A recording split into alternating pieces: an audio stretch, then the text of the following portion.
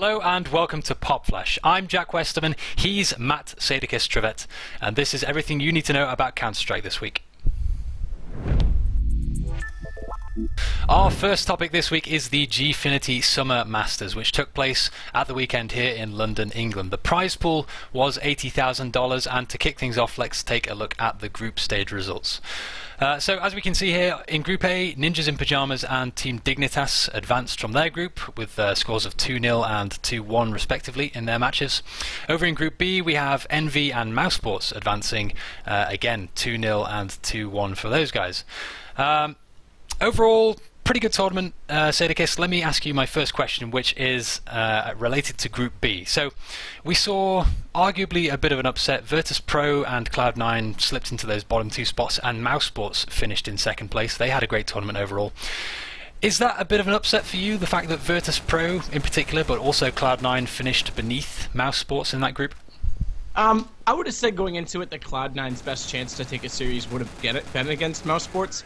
Uh, but for Virtus Pro to finish ahead of Cloud9, that's not unsurprising. The bigger surprise is that Mousesports beat Virtus Pro in two straight series. Mm. The new roster that Mousesports has is really aggressive, uh, and chrisJ and denis work well together, but they're inconsistent. And the fact that they're really aggressive usually means defensive teams can catch them off guard. So the fact that Virtus Pro didn't capitalize even on the second opportunity was a bit surprising to me.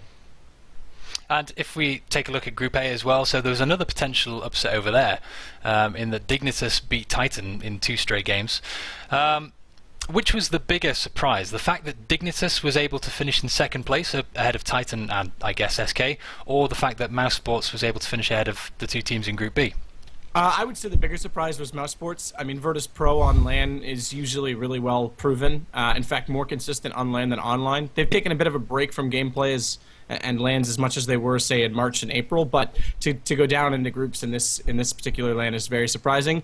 Whereas Dignitas have been a team that have been actually one of the more surprising and more improved teams so far of 2015 they are also just a team that struggles from inconsistency. The same can be said though for Titan, uh, and uh, they have been kind of one-dimensional for a long time, relying on kennyS. Uh, and obviously Kenny, as of late, has has struggled a little bit. So um, to see Titan slip here, it just it, it's proof to me that a Kenny needs to find his form again, um, maybe reinvent himself, and that they need more than just one contributor. Apex needs to step up, RPK needs to step up, and uh, so for them to go out, um, it's perhaps a, a, little bit of a surprise in some ways, but not as surprising as Virtus Pro.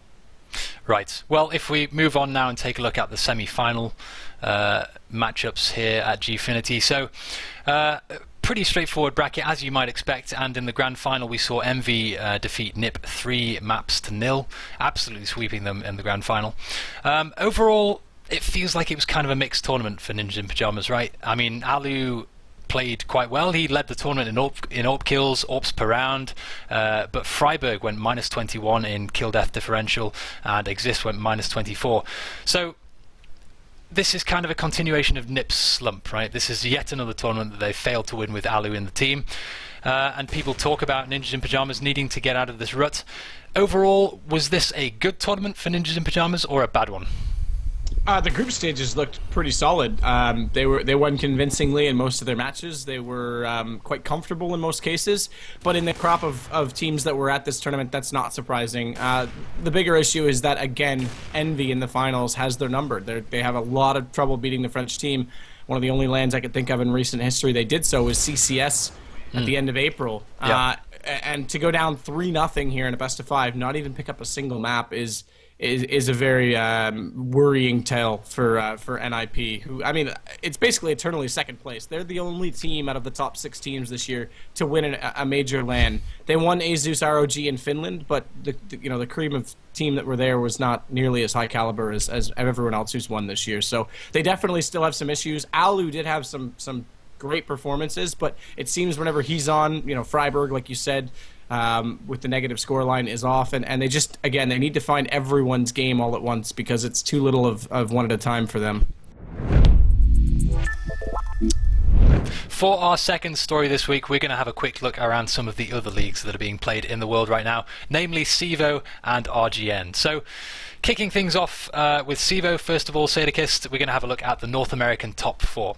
So, CEVO LAN is due to take place at the end of July in Ohio. The top four teams from each region, both North America and EU, will be attending the LAN. And as we can see here in the North American top four, Cloud9 have uh, topped the league 10 wins, 2 ties, 0 losses. Luminosity come in at 6, 6 and 0. Liquid are number 3 with a score of 8, 1 and 3. And Tempo Storm are in there at the bottom at 5, 5 and 2. So this is a slightly different top 4 to the teams that have made it into ESEA's Pro League. Um, Keyd Stars aren't there, CLG aren't there, but instead CEVO is going to see Liquid and Tempo. Is this a better representation of North American talent? Um, I don't think so, actually. Um, I, I, I, think it's a different representation, that, that goes without saying, but not having Keyd Stars there uh, is one of the best execution based teams and, and arguably one of our best chances against European teams. Does kind of weaken the field a little bit. Uh, it's encouraging to see a team like Tempo Storm, who's done a lot of work this year to revitalize their game, uh, make it through to the finals. But the big one for me is Liquid coming in. Potentially that has more promise than someone like CLG at ESEA. Um, simply because of their experience in the last two Gfinity events, not including the most recent. Um, but they were able to pick up maps uh, off of some of the European teams. They had experience at FACEIT, and I think they, in specific, have played some of the best Counter Strike in North America over the last month and a half specifically.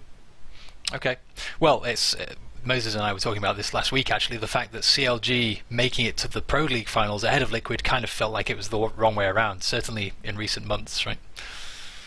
Yeah, I, I think that CLG although they've got lots of skilled individual players, they still have a lot of team problems, um, leadership issues, just being on the same page, and, and, execution problems. So I think Liquid, yeah, I think they are more deserving of that spot at ESEA Pro League. But again, they had a slow start, and um, the league is so tight that, that a slow start really haunts them late. Okay, well, let's leave North America there for the time being and have a look at the European top four, the uh, teams that will be attending LAN from Europe. Uh, so, again, actually a bit of a pattern here. We've seen NIP coming in at the top of this league, so uh, 10, 1 and 0. Virtus Pro are in second place, mousesports in third, and Na'Vi rounding out the top four with a score of 5, 3 and 3. Um, bit of a provocative question here, Sadokist, but is this just another easy LAN for European teams? Are they going to come over and take the top four spots from the North Americans? Uh, I don't know that they should take the top four spots. On paper, you would look at it and expect them to, but there's a chance that mousesports, again, potentially could get knocked off by someone like Cloud9. Um, Luminosity is actually a dark horse in that they've got Pith, who has a lot of experience in Europe. Yep. And they, they aren't someone that these teams know much about. So they have a chance to maybe potentially sneak an upset in there. Uh, but overall, I think NIP's going to come in extremely hungry. They aren't going to be at Pro League. Uh, they enjoy coming to North America, and they're hungry for a win. And VP again, uncharacteristic the result at Gfinity. They should be a solid team to watch for. Navi's been on point. So I, I expect they should take at least the top three spots. Uh, the fourth one on paper looks like it's theirs, but we, we'll find out. We will find out indeed. That's the CEVO LAN finals taking place at the end of July, uh, and we'll undoubtedly cover it a little bit more here on Pop Flash in the coming weeks. The second league I want to talk about in story number two here today is the RGN Pro League. Um, so over in North America, we're just starting to progress through the bracket. Uh, as we can see in the graphic here, so Luminosity uh, have entered bracket play as the number one seed. They've already beaten Keyd Stars 2-1 in the first round, uh, and there are plenty of other good good teams in this bracket, right? We've got Liquid, we've got Tempo, SKDC, uh, and a host of other guys who are going to be playing. So, given that there's no Cloud9 in this bracket, there's no Keyd Stars, which teams do you see in the finals of this bracket, Sadokist? Uh, I would say in the finals, I would expect it to be LG and Liquid. Again, just based on the same reasons that we've talked about. CLG does still exist in the bracket. Um, it's interesting that, that Keyd went down that quickly, but the fact that LG beat them bodes well for them.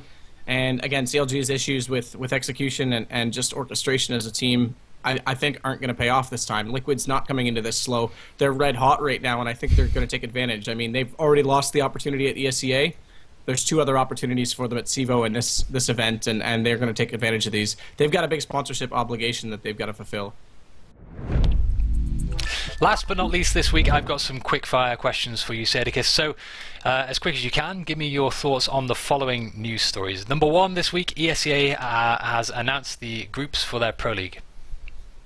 Yeah, I think the groups um, look solid again for the European teams. Uh, Cloud9 is going to have a hard time making it out, but Keyd Stars have, I think, the best chance, oddly enough, of potentially getting an upset in at the LAN. Uh, but again, I think the four European teams are in really good shape.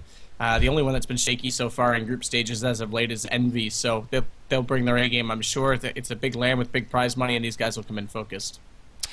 Uh, Glorians has left Tempo Storm, and Stan has confirmed that changes are incoming for the team. Yeah, presumably Rush and Roka, who left or seemingly have left Elevate, which is a bit of a surprise. They're a stable roster. Uh, does bring in some flair. Uh, Roka is a really solid player with, with multiple weapons, and Rush is very good CT side. But for Glorans, he never really found his feet this year. And uh, yeah, I mean, this is uh, probably a good change for Tempo Storm, I think. And last topic for you this week, Sadokist. Uh, Skyton has left Team Kinguin. This is a bit unsurprising. They get off to a slow start. They claim, according to Michael Lilly, that they have the best sponsorship in esports, the best contracts in esports, and they were they were struggling with their T side. Since they've gotten rid of him, they've been playing really well um, with Dennis in the roster. Hopefully, they'll keep him on board. But uh, yeah, this is the I think only positive change for Kinguin. That's it for this week. I'm Jack Westerman, joined by Matthew Sadokist Trivett. And potentially we'll be back next week with a bald version of me in my place for another edition of Pop Flash.